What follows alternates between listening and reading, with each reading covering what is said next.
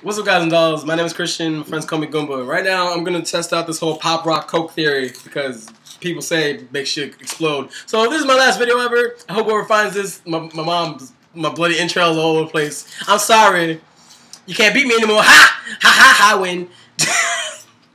all right, now. All right, so pop rocks, coke. All right, here we go.